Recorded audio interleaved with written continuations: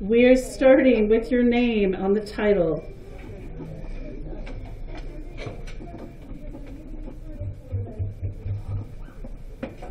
I will be going pretty fast because we are up against lunchtime and I want to make sure you have the notes.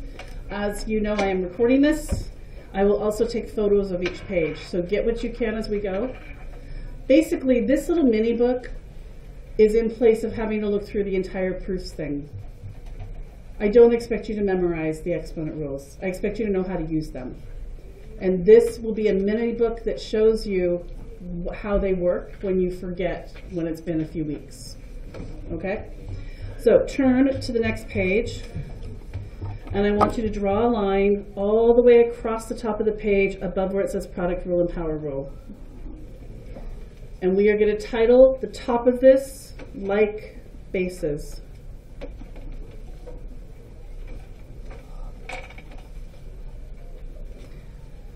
We are starting with the product rule. I would like you to put x squared times x cubed and show that those have the same base.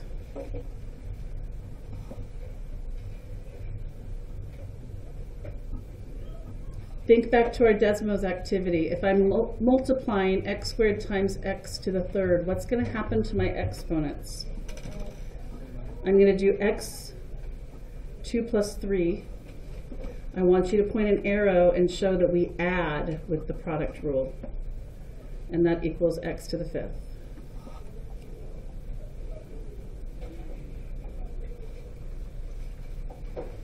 The power rule is when we have something raised to a power multiplied to another power. Who remembers from Desmos what we do with this one? Yep.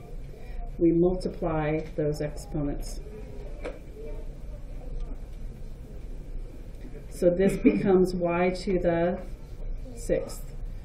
And this has a phrase that goes with it. The power rule is power to a power, reminding us that when we see those two raised multiplied, we multiply them. I want us to divide our page up a little bit by putting dashes down the middle and another straight line across the bottom two spaces.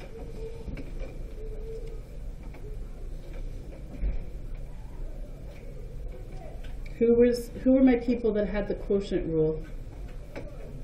That was table three. Okay, the quotient rule. And you guys were starting to experience this in Desmos around screen six today. If I have x to the ninth over x to the third, what's the action that we take? Yep, we subtract.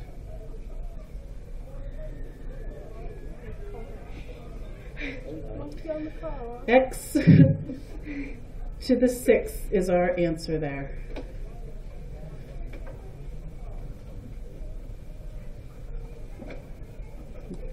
Okay, uh, I had a sp- an extra space in here, so I just put a little fun fact in. I want you guys to draw the division symbol. This also is division, is it not? Yep. Okay, so the division bar has a name. It's called the vinculum. Nice. Yeah. If you ever won a bunch of money on Jeopardy because of that fact, I want you to come visit. Okay. Okay. Turn the page. Maybe bring me a cup of coffee. this should go a little bit faster because we're going to fill in some blanks. if a blank or blank, that's going to be if a constant or variable does not have a visible exponent, then the exponent is an invisible one. I heard table two verifying that today in their work.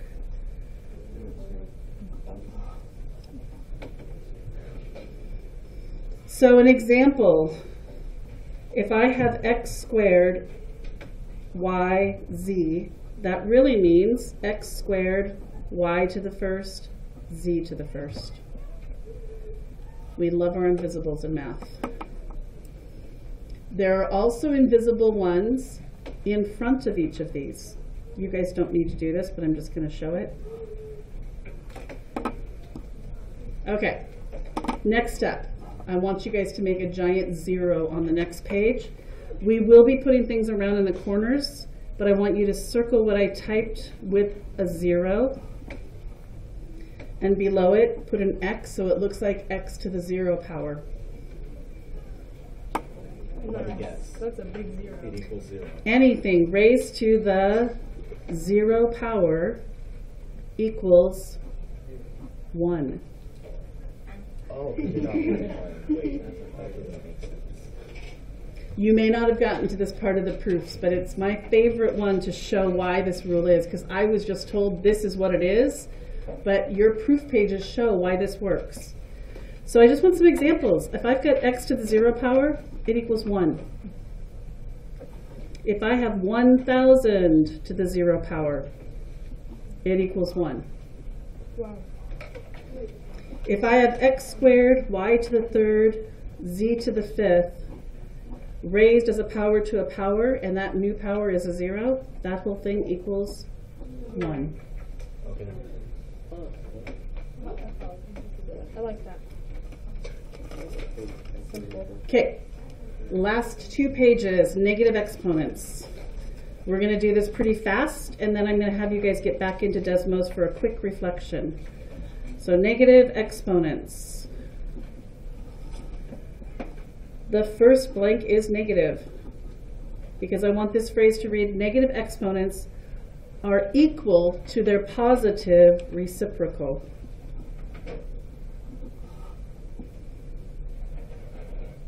There is a phrase that is used to remember this rule. Cross the line and change the sign.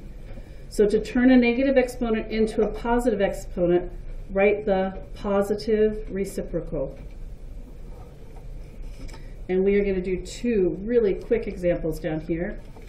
I want you to write x to the negative third over y to the negative third. I'm going to cross the line. So this is the numerator. By crossing the line, it's going to become the denominator. And I'm changing the sign to a positive. And the same happens with the negative in the denominator. So this one has its positive reciprocal here, and this one has its positive reciprocal here. One more example with numbers instead of exponents. If I have 1 over 5 to the negative third, its positive reciprocal is going to be 5 to the third power over 1. And 5 times 5 times 5 equals 125. Boy.